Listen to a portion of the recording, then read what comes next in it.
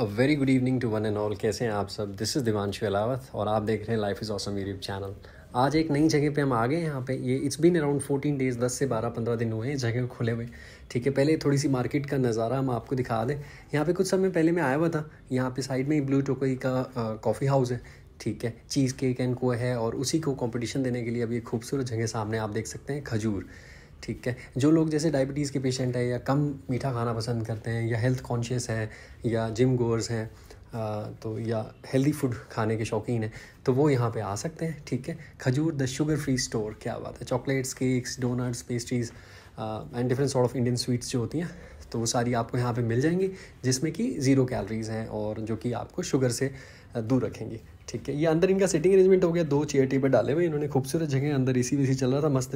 ये जियाना को नीचे एंड दिख गई थी, चीटी दिख गई थी तो वो चीटी देखने में लग गई वहाँ पर तो मैं आपको दिखा दूँ, यहाँ पे ये डिटेल जानकारी दे रखी थी इन्होंने अपने बारे में ना। यहाँ पे do's and don'ts and all those things कि क्या इनका बिज़नेस मॉडल है, इस प्रकार से कुछ चीज़ें हैं। आप यहाँ पे खड़े होकर जब तक आपका ऑर्डर आ जाएगा, आप यहाँ देख सकते हैं। और मिठाइयों की मज़ेदार बात यह है कि आपको ऐसा नहीं है कि आपको आधा किलो या एक किलो ही पैक करानी है, पर पीस के भी प्राइसेस हैं। ठीक है, ये भी डिटेल जानकारी है। स्टीवा और ये मॉन्क फ्रूट जो जो भी चीज़ें होती हैं। मुझे तो नहीं पता, मैं तो पहली बार नाम सुन रहा था। ये ब्राउनीज़ हैं, नीचे केक्स हो गया, वो जार केक हो गए नीचे। ठीक है तो नीचे डोनट भी रखा हुआ था। मैंने वो डोनट ट्राई किया था। ठीक है, उसके साइड में ये जार और हो गए। इसमें भी और मीठी शीठी चीज़ें चीज़ें खाएँ आप, मज़ेदार। Donut one hundred nineteen rupees something का था।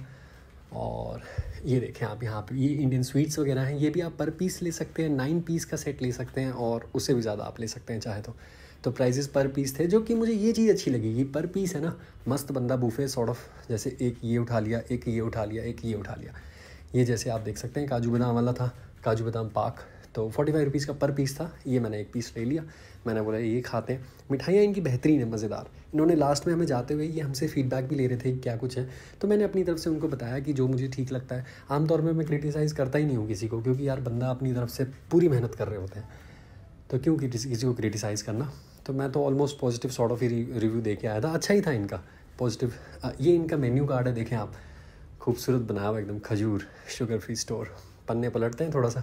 आपको दिखाते हैं, यहाँ पे क्या कुछ डिफरेंट सॉर्ट ऑफ़ आइटम्स है। आप पॉज कर सकते हैं और जूम इन करके आराम से देख सकते हैं। देखें सिंगल पीस का price box of nine box of twenty five क्या बात है।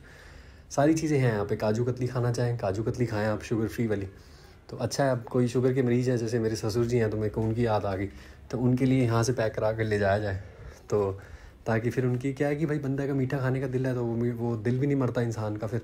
और थोड़ा सा मीठा भी खा लेता है और उतना नुकसान भी नहीं होता ऐसे में ना।